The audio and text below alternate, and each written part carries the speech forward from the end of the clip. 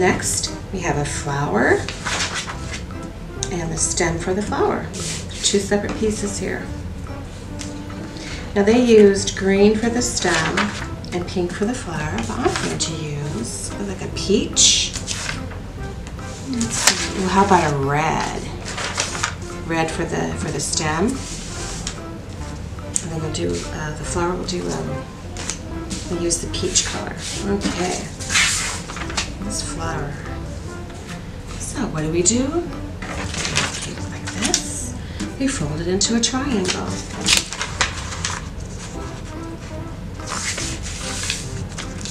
perfect. I fold that just a little bit better.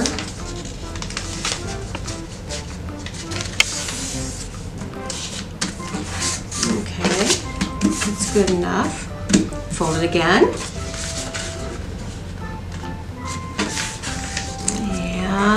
Should we keep it folded? No.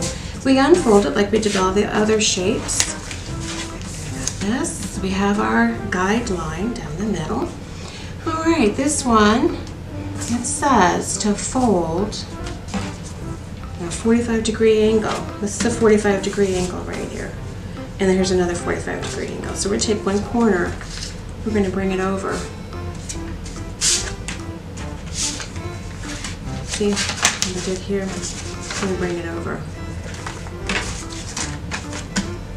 All right. And here's my guideline is right there. And fold it over to my guideline crease it. And let's see, let's bring this one over. Is that gonna work? Hmm, maybe not so much. I'm gonna move this. I'm gonna unfold it and move this up a little bit more so this can fold over. There we go.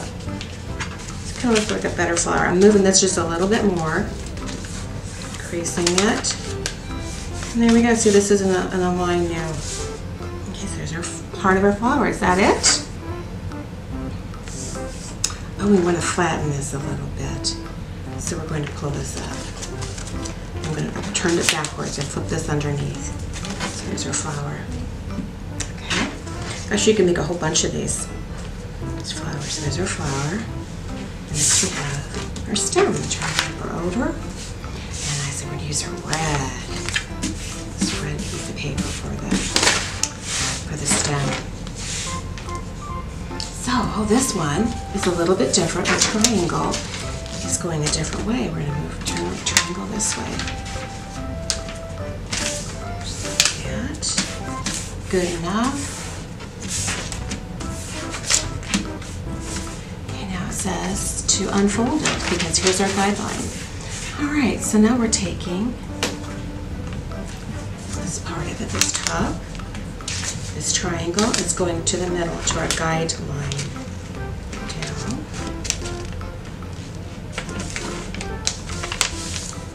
There we go.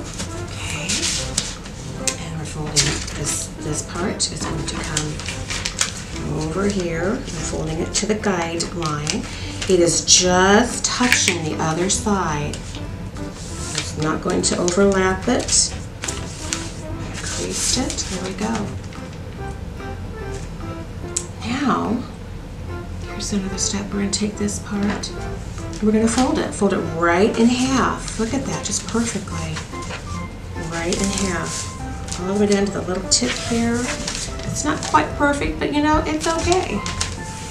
There we go. So, now it says we're going to, so we get this right, we're going to take this bottom part down here and we're going to flip it over so it looks like our stem.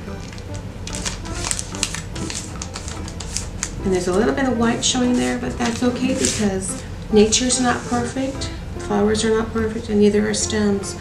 So I'm going to take my flower, and you can probably glue or tape it on here. There you go. You've got your, your flower. What you could do with this is use smaller pieces of paper too, and make a bunch of little flowers.